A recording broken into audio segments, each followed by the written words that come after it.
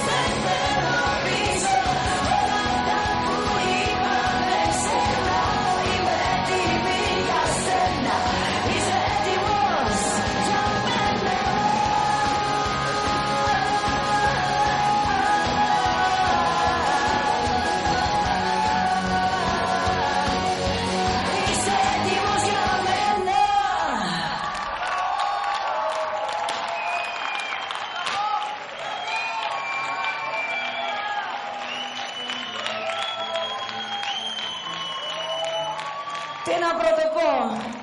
Έχω τρακ παιδιά που είμαι στη Θεσσαλονίκη. Αυτό είναι η αλήθεια. Αλήθεια. Πήγα να σκεφτώ τι να πω γιατί με, με συνδέουν πάρα πολλά πράγματα με τη Θεσσαλονίκη. Καταρχήν χρόνια πολλά σε όλο τον κόσμο.